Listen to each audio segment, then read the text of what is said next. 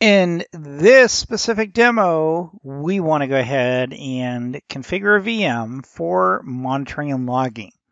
Now, what I'm going to do is because this is one of those redundant objectives, we also do this in section 5 as well.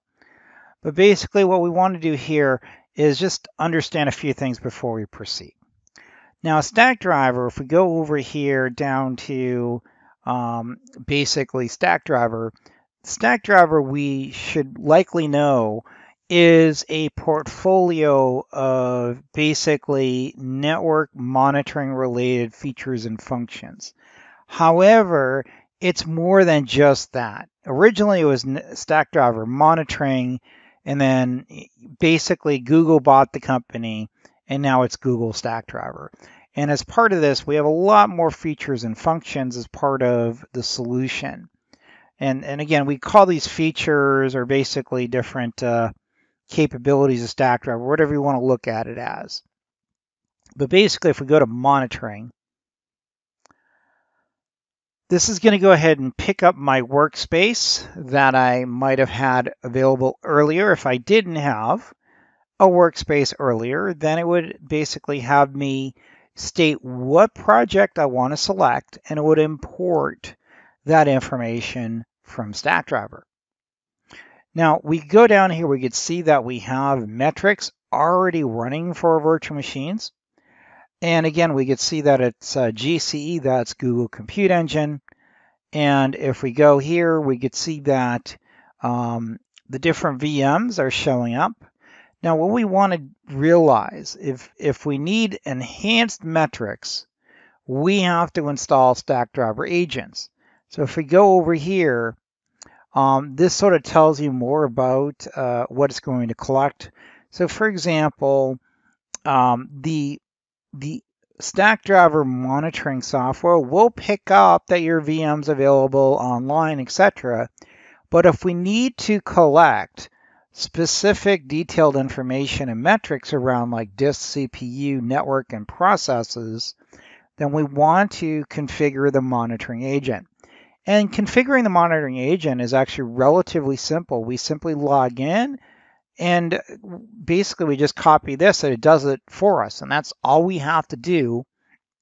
And then Stackdriver will be able to pick up everything. Now, we will need to configure metrics and alerts and other areas um, that we may want to monitor.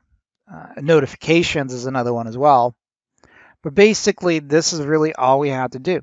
So let's go back to the virtual machines. I'm going to go ahead and select one of these. I'm going to go uh, basically here, view the gcloud command. I want to copy it. Now you could run it in Cloud Shell, or you could run it in the SDK, whatever you want to do. In this case here, I'm going to go ahead and paste it in. I'm going to go ahead and uh, log in this way. You can see there that it says that the host key is not cached locally. I'm going to go ahead and go yes. And now I am logged in. What I want to do now is I need to go back to Stackdriver. And if we go back here to the agent, I simply copy this. So the purpose of this demo, I'm going to go ahead and copy the monitoring agent. When we get to the Stackdriver part of the course. We're going to cover this again a couple times. So I'll hold off on doing the logging agent, but I did want to at least do one of these. And again, just make sure we copy that. And now what I want to do is go back to my um, basically instance window here. I'm going to go ahead and copy and paste that. Go ahead and let that run. You can see it's installing the agent. And I'm going to go ahead and expand that because I know that might be a little bit small. And once we view this, you'll see how easy it is to get this installed. And again, that pretty much what it did is unpack that zip file and uh, basically we're good to go. It says here installation has completed successfully. That's all we need to do on our end. And then what we want to do is go back to Stackdriver and we could start configuring those advanced metrics. Like for example, CPU utilization uh, or memory allocation. These are some things we can look at.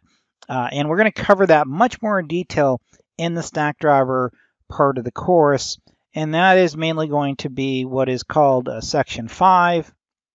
And that section is called Managing Application Performance Monitoring, and that's really all Stackdriver.